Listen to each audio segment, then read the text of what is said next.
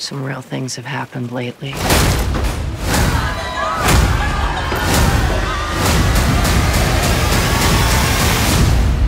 I want to know why. The reporter with a moral compass. Always a step ahead. Everything that happens, she's sourced up and in print.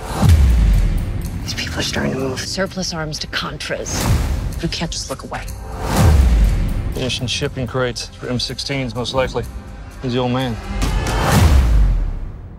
Dad. Ellie, I got a big deal coming. The big deal. My dad is into something. I'm gonna come down there. Don't. I want to track it from this end. Purpose of your visit to Costa Rica? Vacation. Looks like you're waiting for somebody. I think you. Everything is here.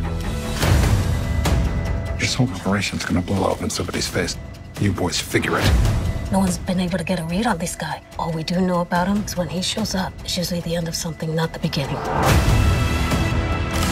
Where do you find this?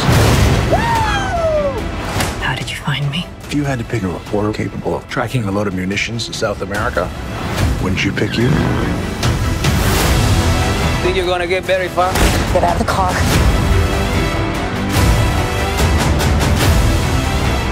You could have got on a plane and left this place. In a perfect world, we make perfect choices. In the real world, we make real choices.